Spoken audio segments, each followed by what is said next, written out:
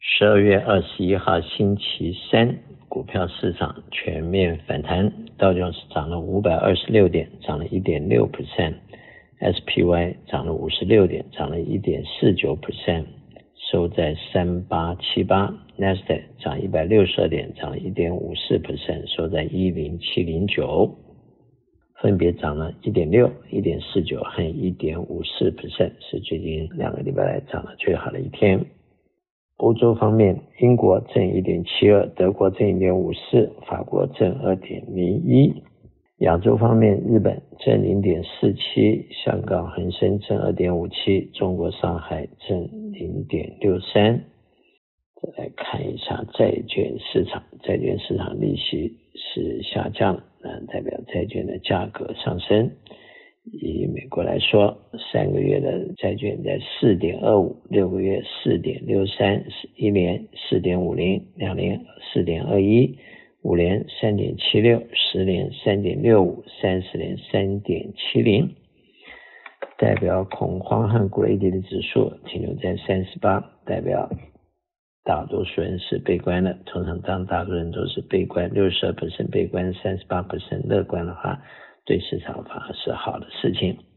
市场长期走了大多数群众思考上的相反的方向。西德州油七十八点七一，布兰特油八十二点五六，Natural Gas 五点五八，黄金涨到一千八百二十九块，小麦七百六十六块。从技术面来看，SPY 它守住三千八百点，往上反弹。比较近的阻力可能是在四千点，再来是四千一，在四千一百五十 support，如果破了三千八，底进的是三千七百二十，再来是三千六百点。那么最近比较重要的几个事情，今天涨的是昨天的 FedEx 和那个 Nike 的 report 不错啊，就代表美国有些公司在经济不景气的情况下，还是保持了不错的 earning。那么另外呢，比较重要的消息就是日本的央行从这个宽松政策开始紧缩，所以日元开始反弹。那么美元的指数现在已经到了一百零三点八五啊，日元对人民币六点九八，美元对日元跌到一百三十一点八。美元对日元最高的时候，日元曾经升到一百五十一块，现在是一百三十元，跌住跌了二十块。那么美元对欧元现在是零点九四。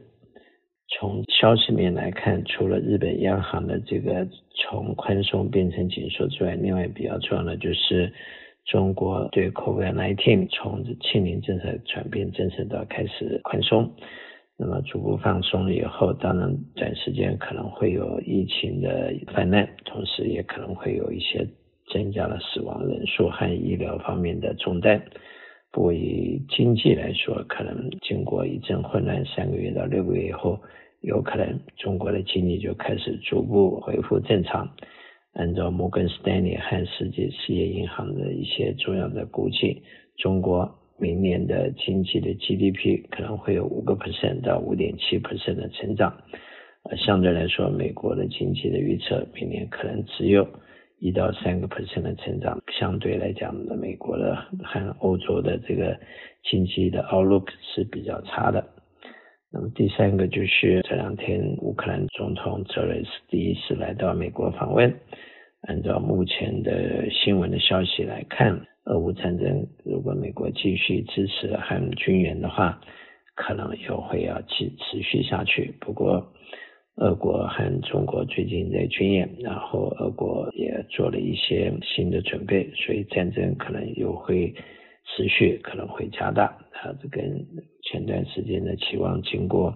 冬天以后，俄乌战争是不是能够有一些减缓？目前还看不出来。啊，虽然欧洲有些国家已经有些厌战，同时也是有点受不了了这个高能源和这个冬天的这个煎熬，不过。显然，有些人还是希望战争继续下去，所以到底俄乌战争是会有谈判的机会，还是要延续下去，现在不好说。因此，投资人在目前应该要注意的就是这几件重要的事情之外，就是要把握投资的原则。投资的原则，长期、短期其实它是不变的，但是投资的策略会随着时间在不同的 timing 要用不同的策略。当利息高的时候，你就是要把钱锁进高利息的地方，要作为这个把钱借出去。反过来说，当利息低的时候，你反而是可以把钱借过来，啊，利用低的利息去创造利润。股价也是这样，当价钱低的时候，应该是买进；价钱高的时候，应该是卖出。那么债券的 play 就是相反，当利息高的时候，应该是要把钱借出去；当利息低的时候，应该把钱借出来。我是肖云祥，我的电话是七三九八八三八八八，谢谢。